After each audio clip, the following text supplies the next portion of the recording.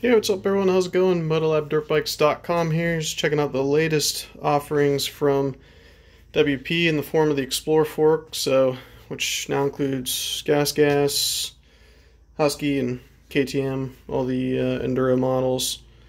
So a couple tasteful changes. Uh, these forks in general, uh, you know, if you're just plonking along, uh, hard enduro or just generally backyard cruising, weekend warrior status. Uh, they're just really going to do you, I think, just fine. They'll have a ton of complaints out of these. Um, you know, definitely getting a spring right for your weight. It's a great way to get a baseline, both front and rear. Uh, anyway, the couple tasteful changes we can see right off the bat are the spring guides. Really nice. They made a 22 millimeter machine ledge on there, so it's nice you can put your wrench in there and not have it slip off there just like the old ones did. Uh, for you guys at home working on your own stuff, uh, if you don't have access to a mill, uh, let's go ahead and, and use a, a, grinder on that to get that baby thin enough to slip in there. And please don't use pliers on that stuff.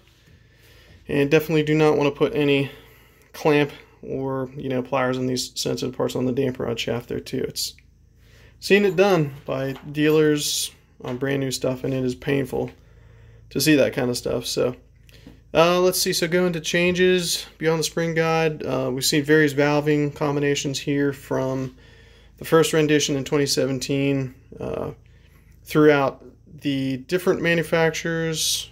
Uh, you know, even though it's still all WP stuff, uh, lots of different valving shim stacks uh, between the models. Here's a couple older ones and some of the newer ones, obviously. Considerably different uh, you know, in the thickness, in diameter, and then the amount of shims as well. Uh, one of the things we saw right away here for 22 uh, is the lack of holes on the compression side of the fork here. So I'll get an old one for comparison. And you can see there's four, um, shoot, I didn't measure them, I guess about quarter inch holes. So essentially, I mean, this compression side fork really wasn't doing much before. I mean, if you imagine that you have that fixed piston and it's just compressing oil is just bleeding off right through those ports. So they considerably reduce that. I mean that diameter here is if i had to guess maybe heck i don't know a couple sixteenths of an inch or something like that maybe two three millimeters and no other holes all the way around. So definitely having that leg do a lot more. I think they aim to considerably stiffen the fork and even went up considerably in the fork spring rate as well uh, just measuring the coil diameter and based on the previous offerings from WP appears to be around a 4-5 kg per millimeter spring right there. So uh, definitely look to stiffen these things up and hopefully make them more progressive all throughout the stroke and uh, not be as wallowy out there. So uh, let's see beyond that, uh, just valving changes here. You got the rebound side, traditional piston. Looks like they have a two-stage rebound.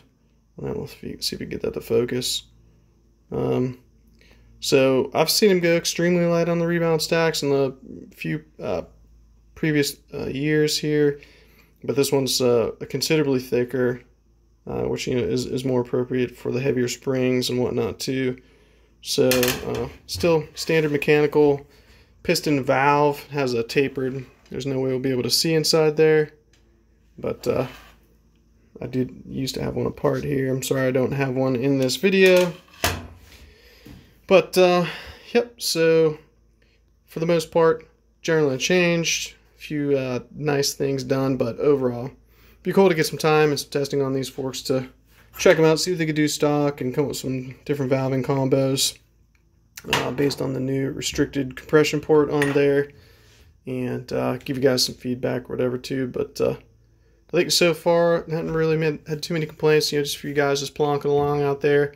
But if you're enduro or uh, any other higher speed stuff, I mean, it absolutely will not work. Uh, you're going to have to resort to uh, aftermarket stuff, you know, uh, Öhlins, WP cartridge kits. Um, you know, there is a bit of a conversion you could do on these, turn it back to a fully functional, uh, symmetrical style where it has like the old school adjustable base valves on there and you actually replace this mechanical piston here with uh, uh, an old actually truly full functioning compression and rebound side So both forks uh, function just like your 2016 and prior KTM open chamber fork. So, which is a great cost-effective way to do that.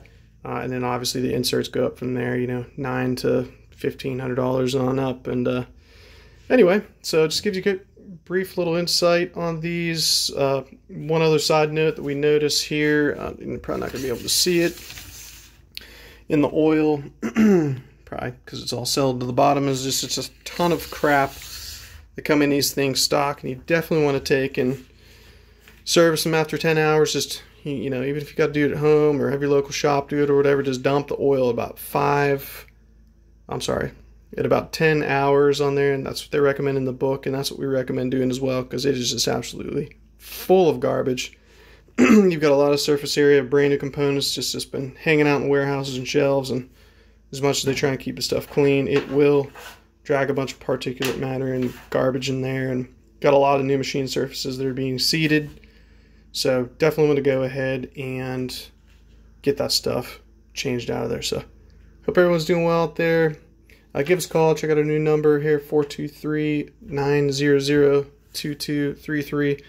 And if you want that free quote, just go ahead and fill out the form on motolabdirtbikes.com and we'll definitely get right back to you uh, within the same or next business day. So hope everyone's doing well out there and we'll talk to you soon. Thanks.